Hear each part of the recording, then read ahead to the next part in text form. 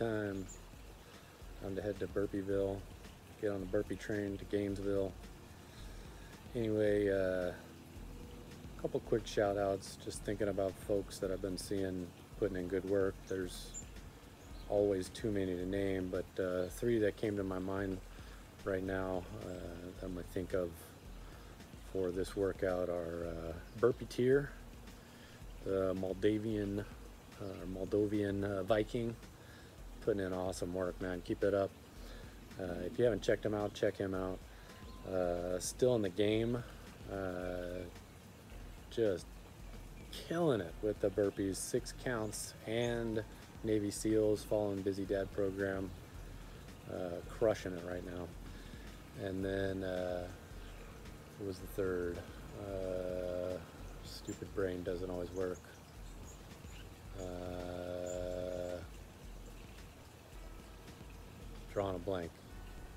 So I'll go with uh, Mr. Chris Crable, just constantly killing it. Um, so, uh, gonna do my 75 burpees, kickbacks, see how we feel about the kick forwards. Definitely significant, notable difference between kickbacks and kick forwards on the burpees do a little experimenting, see if you feel the same.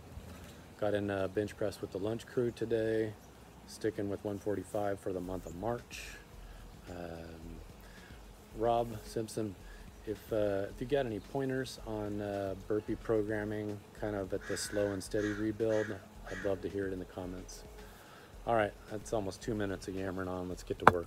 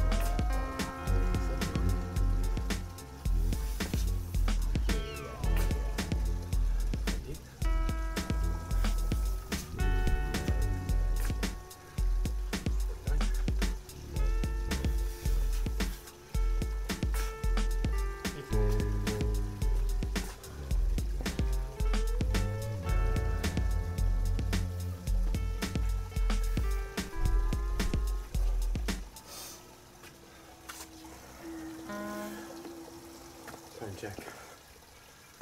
Nine minutes, seven minutes.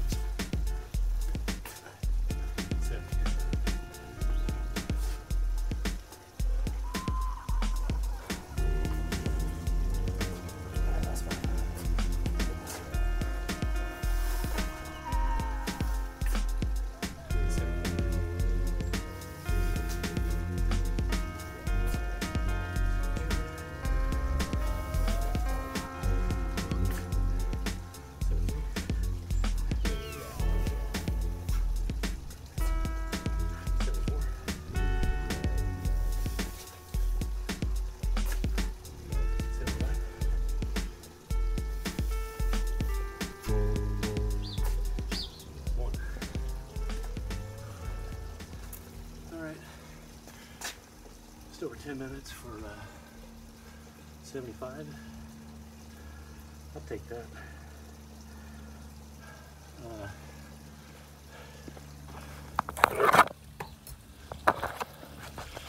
just a quick share. Uh, you know, I could do a hundred right now for sure. Uh, but trying to balance it with, uh, you know, staying healthy. I don't want to get into a range where I'm pushing because, you know, like those jump forwards were push right now. And uh, so I'm just trying to stay conscious of what ego voice is uh, is chatting, whether it's you know the the ego voice of being too weak, or is it the the ego voice of uh, you know being too strong, like.